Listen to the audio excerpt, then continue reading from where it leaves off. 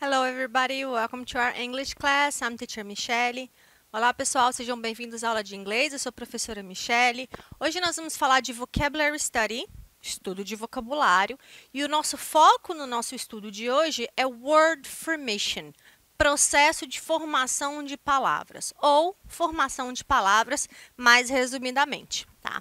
Já aconteceu com você com certeza, de você estar lendo um texto em inglês, fazendo uma atividade de um exercício em língua estrangeira e você encontrar palavras que você não conhece, certo? Quando isso acontece, uma das estratégias que você pode utilizar é a análise de contexto. Contexto vai te dar pistas do que, que aquela palavra pode representar, qual significado ela pode ter naquele contexto, tá bom? Agora, uma outra forma que você pode tentar é justamente analisar como aquela palavra é construída quais os elementos que fazem parte da composição daquela palavra, para aí você poder trabalhar com o processo de dedução e inferência e tentar adivinhar e identificar o sentido da palavra. E hoje eu vou falar para vocês de alguns desses processos que contribuem para a formação de palavras para te ajudar nessa compreensão de conhecimento de vocabulário, de entender melhor o processo de formação dessas palavras. Vamos começar por uma introdução, nossa Introduction to Word Formation, que é a nossa apresentação, introdução à formação de palavras. Vamos falar especificamente de alguns processos, derivation, que é a derivação, ou affixation, que é a afixação, compounding and blending, Compounding é a composição e o blending é a junção, é uma mistura que você faz de partes de palavras para criar uma palavra nova.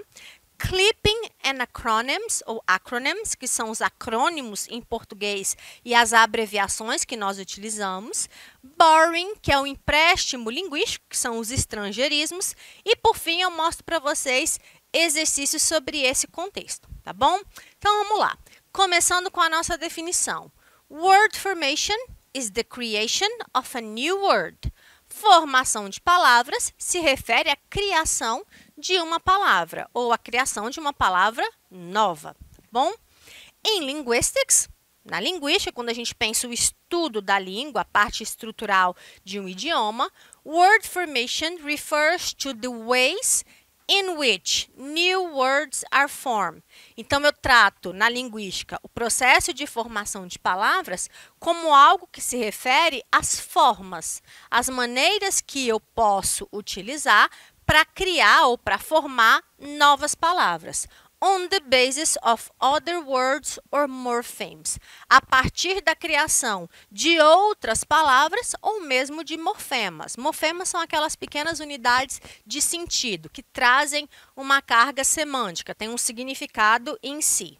Bom, existem several ways, tem várias formas, modelos, possibilidades para você criar uma palavra nova. E essas novas, essas várias possibilidades é justamente o que nós chamamos de word formation processes, que são os processos para você formar uma palavra.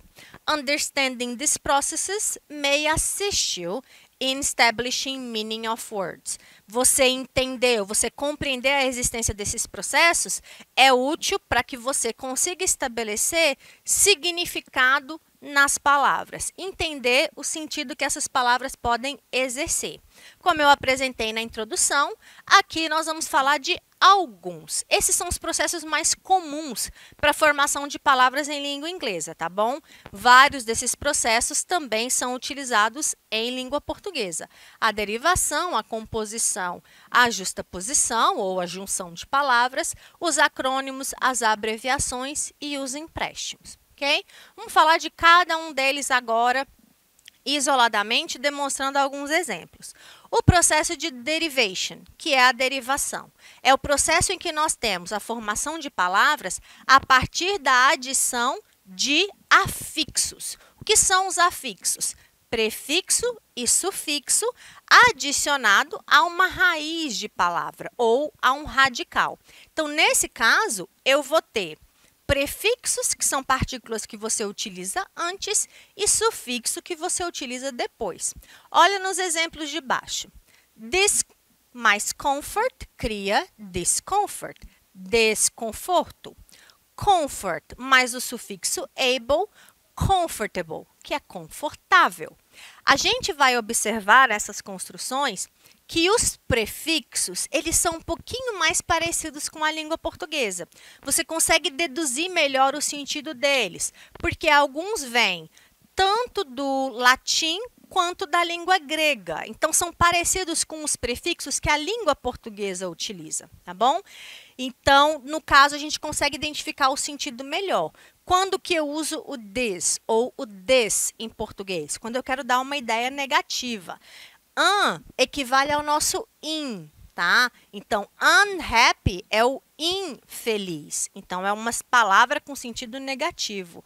Multi é um prefixo que dá a ideia de muitos, de vários. Multicolor, multicor. Algo que tem várias cores. Tá? No caso do sufixo, a gente tem uma dificuldade um pouquinho maior, porque os sufixos já têm uma origem diferente do que a língua latina e grega que são usadas no português. Eles se baseiam mais nos dialetos germânicos, tá bom? Então, são um pouquinho mais estranhos. Dê uma olhadinha na nossa apostila, lá na plataforma Gonçalves Dias, para você poder ler e estudar melhor esse material. Able é o nosso véu em português. Ele indica uma capacidade ou uma condição de algo. Ness é um estado. Happiness é o estado de feliz, ou seja, felicidade. Full indica cheio. Colorful significa cheio de cor ou colorido tá bom? Então, cada um desses prefixos e sufixos, eles trazem uma unidade de sentido. Prefixo, como eu mencionei antes, você adiciona antes do radical, na frente da palavra. E ele vai modificar o sentido. Então, por exemplo, possible é possível, impossible, impossível. Real significa real, unreal é algo que não é real. Estimate é estimativa, underestimate é subestimar, tá? O sub, S-U-B, tá? Para baixo. Miss dá ideia de erro. Understand é entender. Misunderstand é mal entender. Misunderstanding é o mal entendido. Tá bom? Então, quando você observa certos prefixos, você consegue compreender alguns sentidos. Também é possível nós observarmos que, no caso dessas palavras, você vai ter alguns prefixos que são muito parecidos com o português. Monopoly, mono, é de um só. Postgraduate, que é a pós-graduação ou pós-graduado. Pós vem de depois, então é aquele curso que você faz depois da graduação. Antisocial, anti dá a ideia de algo negativo, antissocial. Overdose, over é excesso, overdose é a dose em excesso de algo. Então, cada um desses prefixos que aparecem nesses exemplos são prefixos que nós também observamos em língua portuguesa. Já os sufixos, além da característica de ele ser inserido depois do radical, no final da palavra, eles vão modificar também a forma. Então, por exemplo, a palavra power. Power é um substantivo. Quando eu crio powerful, aí eu estou criando um adjetivo poderoso, cheio de poder. Tá? Home é lá. Quando eu acrescento o sufixo, eu mudo o sentido. Substantivo vai virar um adjetivo. Homeless é a pessoa sem teto. Tá? Less é um sufixo que dá a ideia de falta ou ausência de alguma coisa. Nation, nação. National seria o nacional, também uma característica. Aqui faltou a correção. Friend é o amigo. Friendship é a amizade, tá bom? Então, nós temos exemplos em que o sufixo modifica o sentido da palavra. Já outros processos de formação, eles envolvem composição ou mistura. É quando você pega palavras que já existem na língua inglesa e você faz criações, adequações de novos sentidos. Tá? Existe a composição perfeita e a composição imperfeita, que é quando o sentido original das palavras muda. Ele sofre uma alteração e passa a adotar um novo sentido. Primeiro, o processo de composição é quando eu junto duas palavras para criar uma nova palavra. Então, por exemplo, head significa cabeça, ache significa dor, headache significa dor de cabeça. Tá? Então, aqui é uma composição perfeita. Juntei as duas palavras e as duas palavras mantiveram seu sentido original. Wheel significa roda, chair cadeira, wheelchair, cadeira de rodas. Então, aqui eu tenho palavras compostas. Sun, sol. Burn, queimadura. Sunburn é a insolação, é a queimadura que você adquire a partir do, da exposição ao sol bom? Então, são palavras formadas pela composição. Olha alguns exemplos também de composições, tá? A diferença entre a composição e a mistura ou a junção é que a composição eu uso a palavra toda. As duas palavras que já existem, eu junto elas para criar uma palavra nova. A mistura eu vou pegar só um pedacinho e eu já vou mostrar para vocês. Sun, sol, flower, flow. Sunflower é o girassol a flor específica que tem o nome de sol. Rain é a chuva. Bow é laço. Rainbow é o arco-íris. Aqui eu já tenho uma composição imperfeita, porque eu não vou dizer o laço de chuva, tá bom? Então eu tenho uma mudança no sentido que essa palavra exerce. Moon, lua. Light, luz. Moonlight é o luar, tá? Ou a luz da lua. Key, chave. Hole, buraco. Keyhole é a fechadura. Bom, então eu tenho criação de palavras a partir da junção de palavras já existentes. Tá? No caso do processo de blending, que é a mistura, a junção, eu vou usar só uma parte.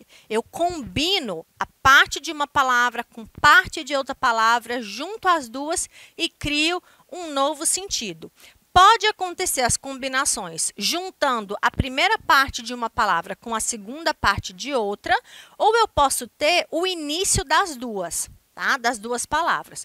Olha, por exemplo, a palavra blog. O que é um blog?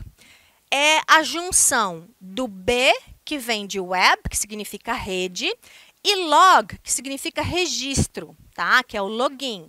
Então, o que é um blog? É o registro na internet ou registro virtual. Vlog é o registro do vídeo.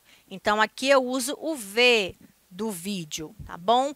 Já no caso da palavra brunch, é uma parte de breakfast com a palavra de lunch. Breakfast é café da manhã, lunch é o almoço. O que é o brunch? É uma refeição que se faz em alguns países da língua inglesa, como uh, os países do Reino Unido, Estados Unidos, em que você tem uma refeição que nem é cedo como café da manhã, mas também não é na hora do almoço. É por volta de 10 e meia, 11 horas da manhã. Um café da manhã um pouco mais reforçado bom?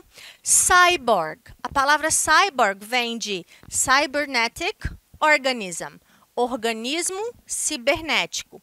A palavra internet vem de international network, rede internacional. Então aqui eu tenho a mistura, partes de palavras. Bom, no caso dos outros dois processos, clipping e acronym, clipping são as abreviações. É quando você curta o tamanho de uma palavra, tá bom? Então, por exemplo, a palavra ad em inglês significa anúncio. Vem de advertisement. Então, ao invés de eu falar tudo isso, que seria a publicidade ou o anúncio, eu posso dizer ad. Doc vem de doctor, também é uma abreviação. Exam, examination, que seria a prova, a avaliação. Tá? Gas é uma abreviação que fala de gasolina. Também pode se referir ao gás, tá? Mas o foco, normalmente gas, quando a gente vê, por exemplo, nos postos, nos filmes, nas séries, é a abreviação de gasolina. Flu que apareceu muito nesses dois últimos anos é a abreviação de influenza, que é a gripe, tá? Então, gripe em inglês, flu, tá? Foto é a abreviação de photograph, que é a fotografia. Lab, abreviação de laboratório. Então, eu tenho versões menores, palavras que são encurtadas, como forma de criar também palavras. Aqui, tanto a abreviação quanto a palavra completa são palavras diferentes que têm o mesmo sentido. Já no caso do acrônimo, é a utilização apenas das iniciais de um grupo nominal.